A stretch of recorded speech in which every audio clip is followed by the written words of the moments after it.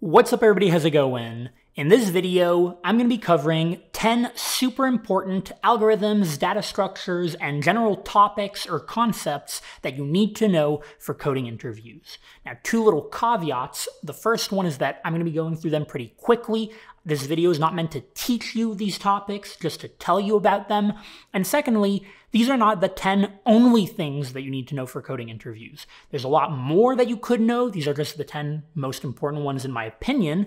If you want to know everything there is to know about coding interviews and if you want to practice, which you should if you're trying to land a job as a software engineer, then definitely check out my company AlgoExpert. We've helped over 70,000 engineers prepare for their technical interviews. Go to algoexpert.io and use the promo code CLEM, C-L-E-M, for a discount on the platform. Last thing before I jump into the first topic, I'm trying to grow my Instagram. I've been pretty bad bad at posting recently, but I just posted a new picture and I'm going to try posting a lot more pictures of just my general life, not necessarily related to coding or software engineering, all sorts of things, lifting, my general life behind the scenes. So if you're interested in that, go check it out, Clement underscore Mihailescu. The link is in the description below. And now let's jump into the first thing that you absolutely need to understand really well for coding interviews, which is the logarithm the math concept. It's probably the only real math concept that you need for coding interviews, but it is imperative that you understand how the logarithm works. You have to appreciate why a logarithmic time operation or algorithm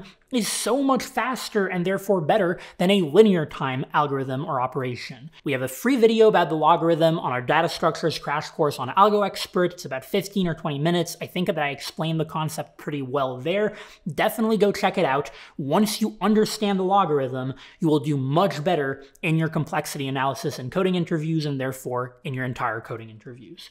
Now, the second topic that is super important to master for coding interviews is graph traversal. And when I say graph traversal, I'm also talking about tree traversal, matrix traversal, because matrices are basically kind of like graphs in, in a way. You have to know how to do depth first search, breadth first search. I hate these two words, DFS, BFS. You have to know how to traverse through cyclic graphs. So you have to know how to keep track of visited nodes in some sort of auxiliary data structure. Super important. Most on-site interviews will have at least one interview that consists of a graph problem where you're going to have to traverse a graph. So definitely make sure that you're comfortable with graph traversal.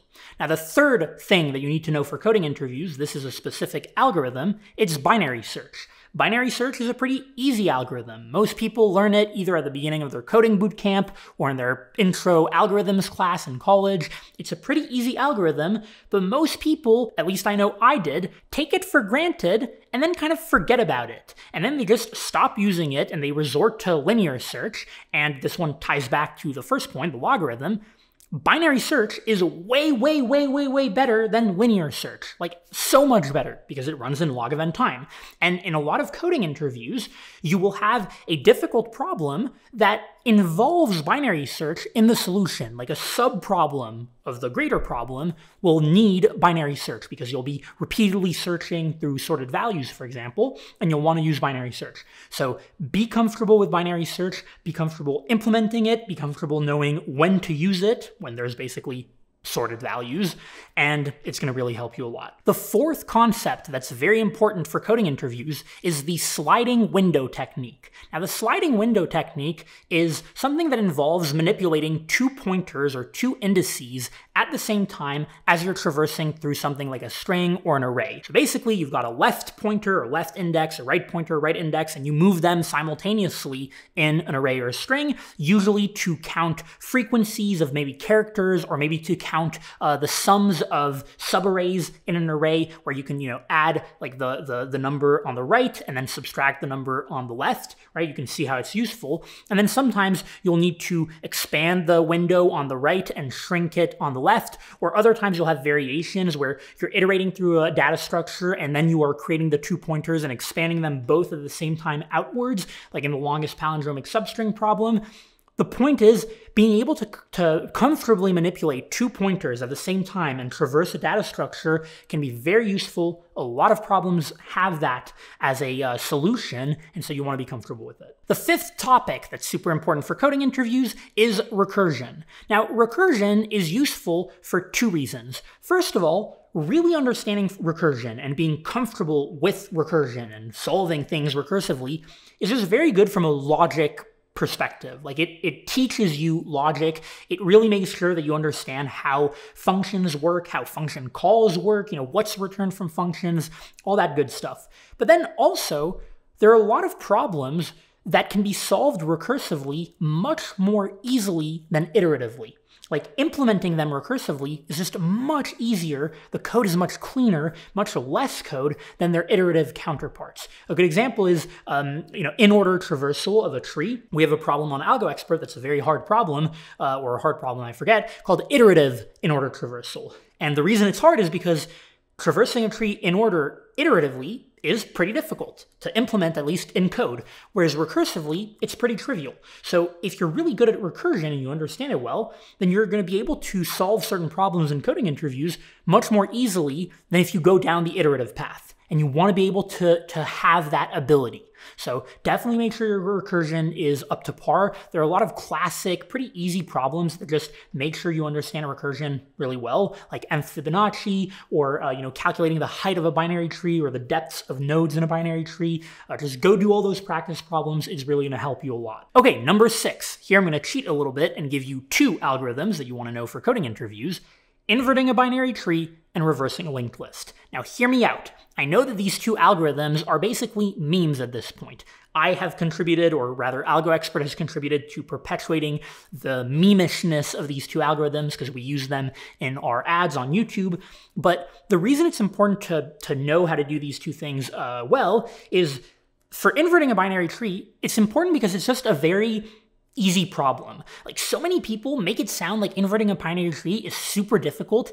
It's not. It's a very easy problem. It just comes down to traversing a tree and swapping values. Like, it's just very easy.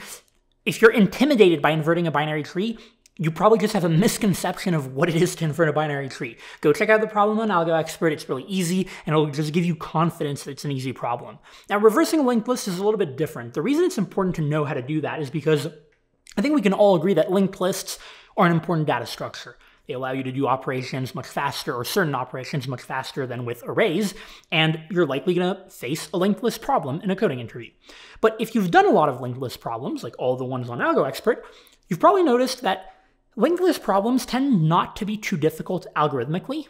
It's just like the same thing every time, like shifting values in a linked list or rearranging a linked list. And if you know how to reverse a linked list, you probably will know how to do most other manipulations in a linked list that you could face in an interview because it's basically the same thing. Just knowing how to manipulate you know, nodes in a linked list, knowing how to overwrite pointers, making sure to, to, to, to, do so in a specific order such that you don't lose reference to nodes in the linked list, and voila. So know how to reverse a linked list, and you will be great for most linked list problems. Number seven, suffix trees. So suffix trees are a pretty advanced data structure. They're a relatively complicated data structure, but the, the thing that I want to impart you with here is you can create a data structure that looks similar to a suffix tree, just with objects like JavaScript objects or Python dictionaries, very easily and it's a very powerful data structure that can help you, especially with string problems.